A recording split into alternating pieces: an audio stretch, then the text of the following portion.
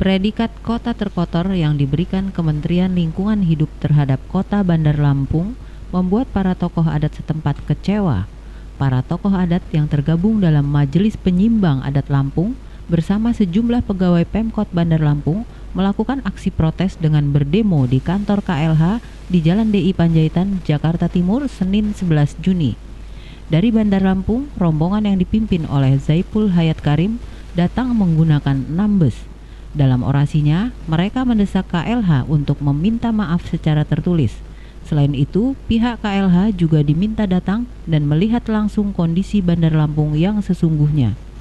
Kota Bandar Lampung yang merupakan ibu kota Provinsi Lampung sejak tahun 2009 tidak mendapat adipura karena kalah bersaing dengan kota lainnya di wilayah Lampung.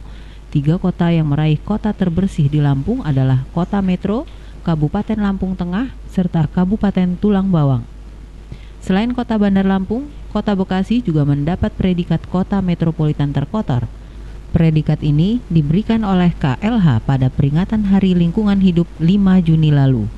Sebutan kota terkotor untuk Bandar Lampung dianggap oleh para tokoh adat sebagai sesuatu yang memalukan hingga akhirnya mereka menggelar unjuk rasa. Dari Jakarta Timur, Muhammad Ivan, Pos Kota TV melaporkan.